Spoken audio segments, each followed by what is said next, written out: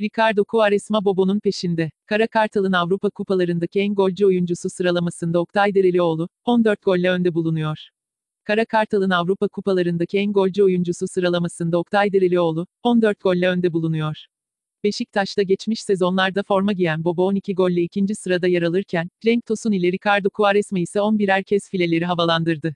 Siyah beyazlı ekibin mevcut kadrosunda Avrupa Kupalarında Babel 7 gol atarken, Gökhan Töre ise 5 kez fileleri havalandırdı. Beşiktaş'ta ayrıca Oğuzhan 4, Larin 3, Mustafa, La Pepe, Lens ve Tolga ikişer, Adriano, Necip Caner, Roko ile Gökhan Gönül birer kez Avrupa arenasında gol sevinci yaşadı.